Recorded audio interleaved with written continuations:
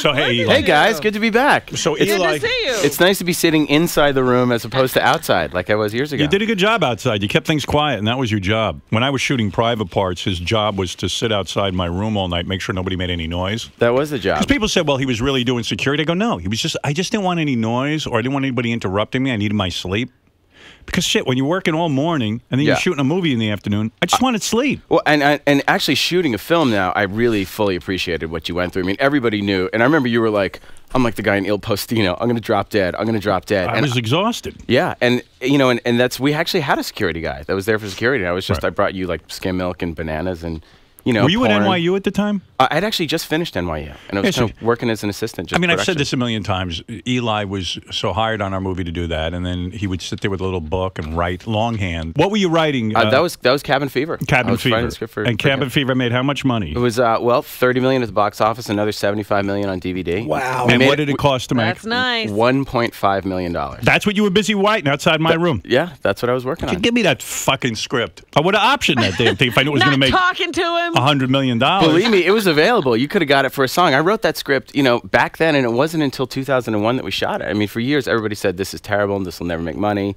And you know, people watch it today and they still say it's terrible. So it's great. Well, it made I a lot of it. money. It was about uh, you know a guy getting an infection, right? Yeah, the bunch of kids. It's sort of like an Evil Dead type right. movie. It's Yeah, like they an were all at 80s. this cabin. So then after Cabin Fever, you made Hostel One. Yeah. Hostel One cost how much to make? Three point eight million dollars. And it ma- it grossed how much? Uh, Eighty million at the box office and another almost two hundred million on DVD. See, this is the It's kind of crazy. reputation you want in Hollywood. Well, yeah, and you, every low budget used to be a bad word. I mean, the average budget is eighty million. Right. So then Hostel, we made it. We said, okay, if this movie makes five or ten million, it's You'll a be a huge hero. hit. And then opening right? weekend, it made twenty and knocked out Narnia, and we were shocked. Who did you make that film for? Hostel One. We made it independently, You and then. Sony and Lionsgate picked it up while we were in production on it. They weren't even going to put it in theaters. They showed it to audiences, and people were going crazy. And they thought, okay, there's something. How here. did you get the money together to make the movie before you sold it to Sony? because I started a production company with some other filmmakers, and we had kind of a fund to make movies, and we had like three million dollars together. Right. And so we just started production, and then Sony found out that we were going to basically make it for three million bucks,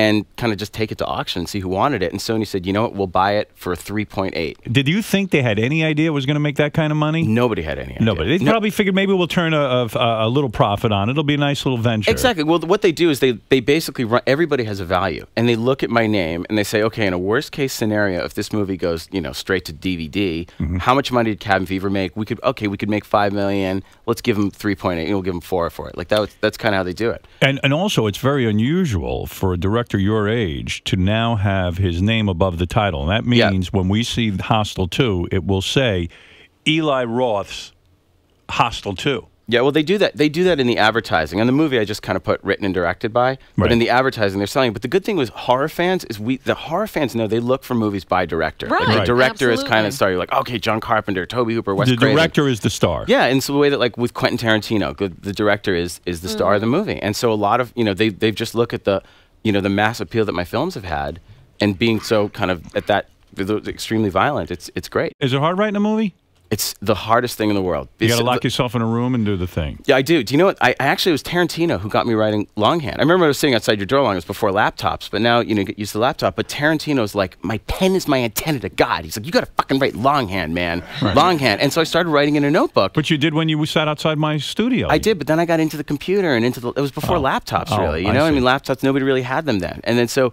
And, and so I would, you know, sit there and I'd write and I'd write and I'd write. And the sequel is tough because you got to give people what they want, but you got to give them something new. But fucking everything's been done before. Right. And then when I talk to the ratings board, and then you have to get your movie through the ratings board, they're like, Eli, we don't even know what to compare this to because we've never seen this. I'm like, well, yeah, I'm running out of body parts, guys. So what do you do? So where's your inspiration come from? What do you like? Like how do you think of more gory shit to do that hasn't been seen before? You know, just look at the shit that's going on in the world. Look what people have done throughout history. Walk into any museum of medieval torture in Europe, and you can't fucking believe the shit the church came up with that they did over 250 years. Yeah. They'd have a guy upside down, legs spread, and take a two-ended saw and slowly saw them in half. The church did that. The church did that because they there were there were witches, and because the Bible said, "Thou shalt not suffer a witch to live." You don't even need to be all that creative. You can write a horror Just film. go to one of those Just go to museums. church. Yeah. Look what, exactly. Go to church. Exactly.